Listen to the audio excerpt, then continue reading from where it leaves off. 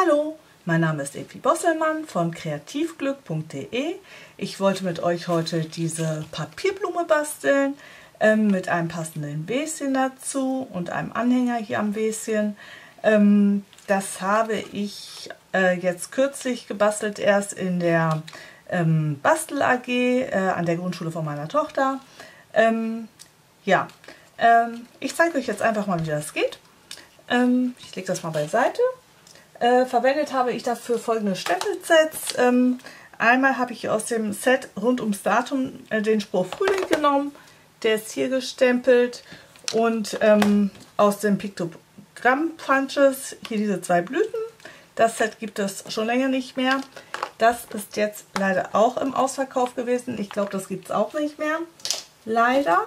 Aber man findet bestimmt auch noch was anderes Schönes, was man dafür nehmen kann. Ähm, genau. Ihr benötigt ähm, zwei Filtertüten. Das Papier hier nämlich besteht aus äh, zwei Filtertüten. Dann ähm, ein Stück Cardstock in ähm, Pfirsich pur, ein Stück Cardstock in Flüsterweiß, äh, von dem Rüschenband in Flüsterweiß, ähm, ein paar Federn. Ähm, die Federn, muss ich sagen, die sind auch schon super alt und hab hier, die habe ich in meinem Bastelfundus gefunden. Ich finde, die passen auch total schön hier zu den Farben hier, genau, die Stempelpads, das sind dann ähm, einmal das Pfirsich pur, das zarte Pflaume und das Flamingo Rot. Ähm, dann für den ähm, Stiel hier von der Blume habe ich hier noch einen Sträum gefunden. Die waren damals mal von Ikea. Also die sind mit Sicherheit auch schon 20 Jahre alt. Und ich fand der Farbton, der war echt, ähm, ja, als wenn es dafür gemacht wäre. Ähm, ein Stück, äh, ein bisschen Draht noch. Und ähm, genau, und was auch noch wichtig ist, ist der Wassertankpinsel von Stamping Up. Ähm, genau. So, dann will ich auch mal loslegen. Als erstes wird hier von der Filtertüte dieser Rand grob abgeschnitten. Theoretisch hätte ich das jetzt auch doppelt nehmen können, aber so geht es jetzt auch. Es ist ja auch fix gemacht.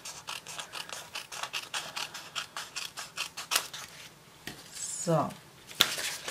Dann habt ihr hier, wenn das aufklappt, also zwei Flügel. Können wir sie jetzt übereinander legen und das hier schneiden wir auch noch mal ab. Also durch, in der Mitte durchschneiden.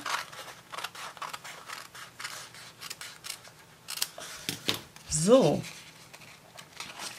Und jetzt werden diese einzelnen Blätter, die vier, werden einfach so in der Mitte ein bisschen zusammengerafft.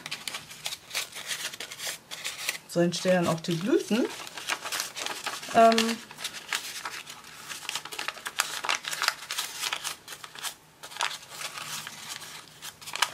bei dem Filterpapier, das ist total schön, das ist ähnlich wie Aquarellpapier auch. Ähm, da verläuft die Farbe so schön.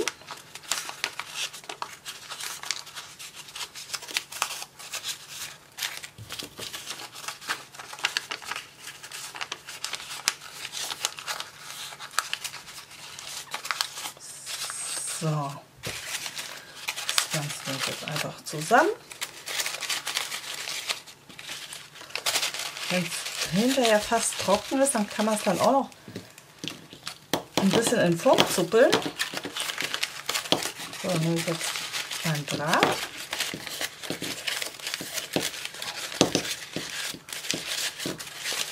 Ich schlage das hier noch mal ein bisschen ein. So, jetzt nehme ich meine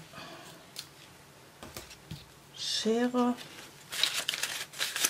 So, jetzt habe ich erstmal die Grundform der Blüte. Der mag kann natürlich auch noch, noch eine Filtertüte mehr nehmen, dem das noch nicht Blüte genug ist. Mir hat das jetzt so gereicht. So, ich nehme hier mal ein Hilfsmittel und da stecke ich das hier mal rein. Einfach, dass ich gleich besser arbeiten kann, wenn ich das hier einfärbe. So, jetzt mache ich das erstmal mit dem Wassertankpinsel grob nass.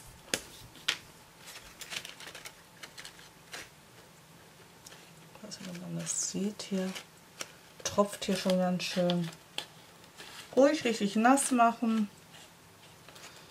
Meine Bastelunterlage, wird hier nicht nass. Ich habe hier noch so eine Schreibtischunterlage über meinem Papier drüber. Das ist nicht schlimm. Das kann ich hinterher wegwischen. So. Ich hier meine Stempelfarbe. Nehme die Farbe auf.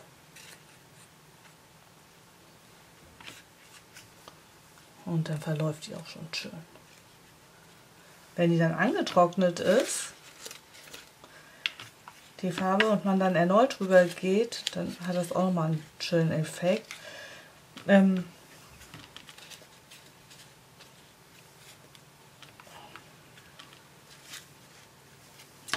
ist ja eine andere Farbe.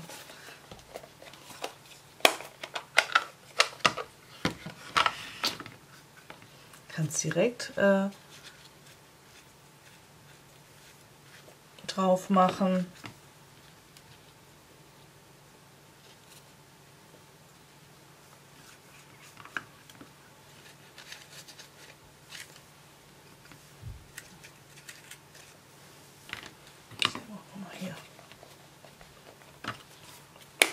Pfirsichpuder dazu.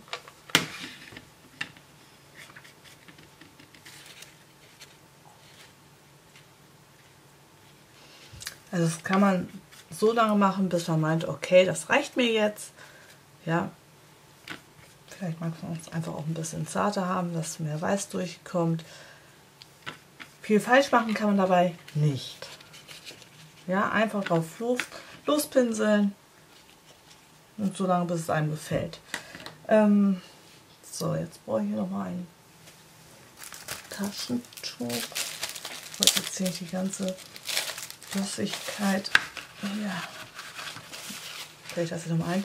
Rein theoretisch könnt ihr auch ähm, aus dem Nachfüllfläschchen einen Tropfen nehmen, den vielleicht ein bisschen mit Wasser verdünnen und dann in ein kleines äh, Schälchen reinfüllen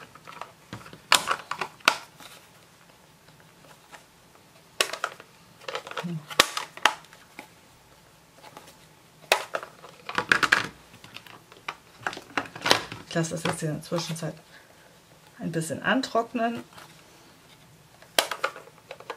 meine Finger, die sehen schon wieder aus, aber das bleibt nicht aus und es geht ja auch wieder weg.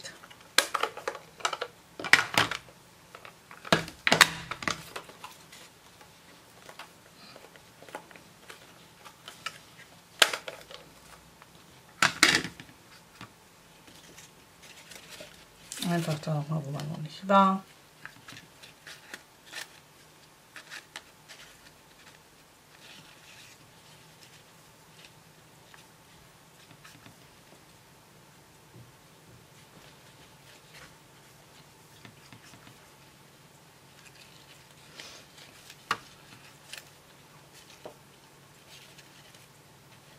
Die Kinder, die fanden es auch ganz toll in der AG. Ich muss sagen, ich hatte jetzt auch nicht genügend äh, Wassertankpinsel. Ich habe dann teilweise auch ja, den normalen Pinsel in die Hand gedrückt. Das war auch okay. Weil hier mit dem Wassertankpinsel, das ist echt komfortabel, weil kommt das Wasser automatisch hier raus. Das ist ja hier in dem Tank drin.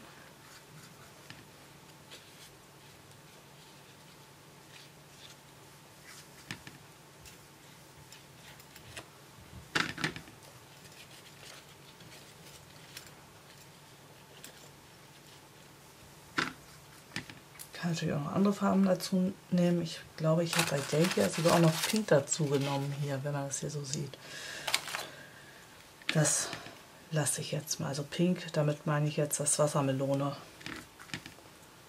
von Stamping Up. So, mir reicht das jetzt erstmal. Ja, wenn es trocken ist, kann man dann immer noch mal ähm, beigehen und ähm, da nochmal Verläufe machen. Genau, das kann jetzt erstmal trocknen. Jetzt habe ich hier ordentlich rumgemanscht. Das stelle ich erstmal beiseite. So, mache es wieder trocken. So, jetzt ähm, mache ich hier diesen kleinen Anhänger hier mit dem Spruch Frühling drauf. Dazu nehme ich etwas Flüsterweiß. Äh, nehme ich hier auch Ach, die Stempelfarben brauche ich jetzt natürlich wieder. Ähm, stempel mir den Spruch Frühling drauf.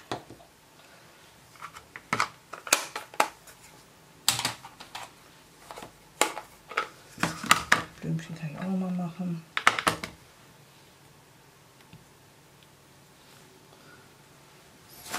So.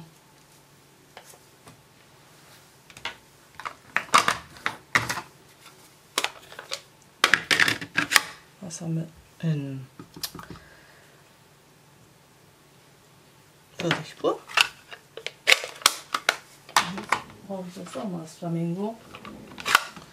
Das Flamingo Rot.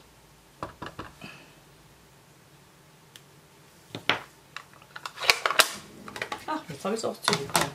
Ich hätte es ich hätte es nur mal gleich aufmachen müssen. Entschuldigung, ich bin gerade mal kurz weggegangen. Ich brauchte ja noch die kleine Itibiti-Stanze. So. Hier nehme ich die 1 Dreiviertel Zoll Kreisstanze. Dann habe ich schon vorbereitet ähm, mit den Framelits langweise Kreise. Ähm, einen Wellenkreis habe ich da ausgestanzt.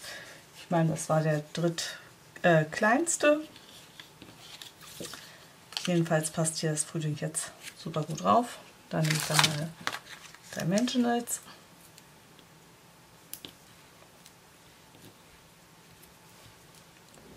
So.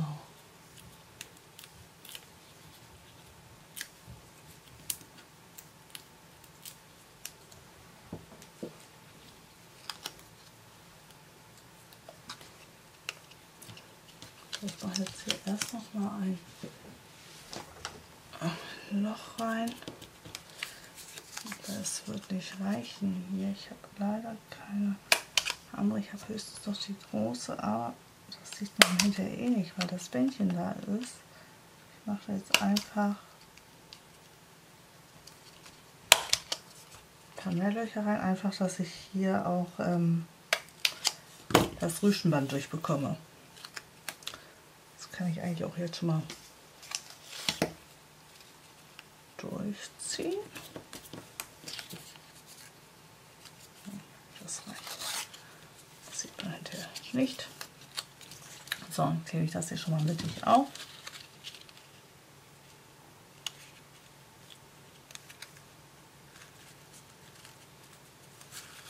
Genau.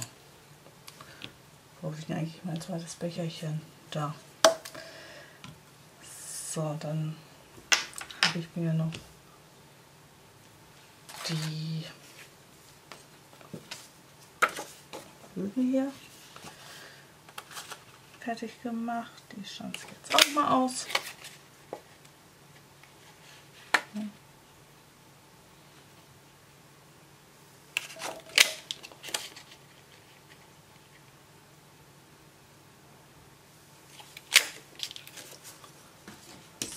So. Nehme ich die ähm, Glue Dots, die Mini-Klebepunkte. Was ich ja auch ganz toll finde, ist, ähm, es gibt jetzt bald die Dimensionals in noch kleiner. Die wollte ich mir jetzt äh, in der ja, Vorabbestellung schon mal bestellen, aber es ging leider noch nicht. Das heißt, die kriege ich auch erst ab 1. Juni. Ja, dann gibt es die, wie gesagt, kleiner und ähm, da freue ich mich auch schon drauf, weil manchmal da klebt man Sachen. Gut, für das hier hätte ich das jetzt nicht gemacht, aber so manchmal sind kleinere äh, Dimensionals gar nicht verkehrt. Ich zerschnippel die dann doch recht häufig. So, den Anhänger habe ich jetzt auch fertig.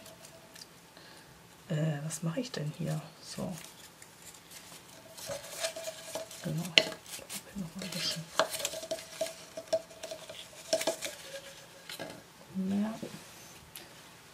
Stoffschere.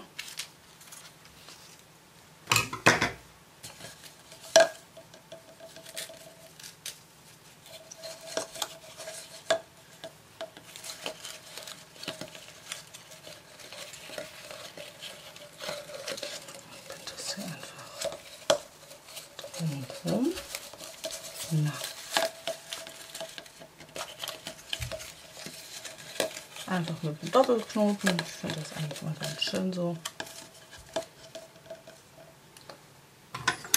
so. Das ausgefranst wahrscheinlich mal ab. Okay, das lasse ich jetzt erstmal so.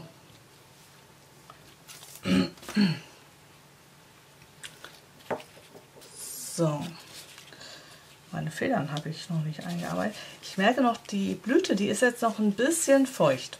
Ja, ähm, die muss jetzt mal noch ein bisschen trocknen. Die Blüten, die kann man dann mit Heißkleber aufgeben. Das habe ich zumindest bei dem Muster gemacht. Aber, naja, das habe ich mir fast, das habe ich befürchtet. Die Batterien sind leer. Ähm, ich nehme dann einfach den. Haben wir hier ein paar Kleckse rauf. Billig. Das sieht man hinterher auch nicht. Einfach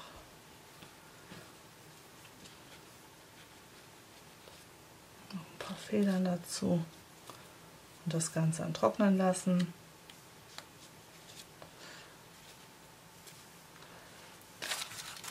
So, hier das Ganze habe ich dann auch mit Heißkleber gemacht, aber der will jetzt nicht, weiß ich, der Tomo, der wird wahrscheinlich, ich probiere es mal.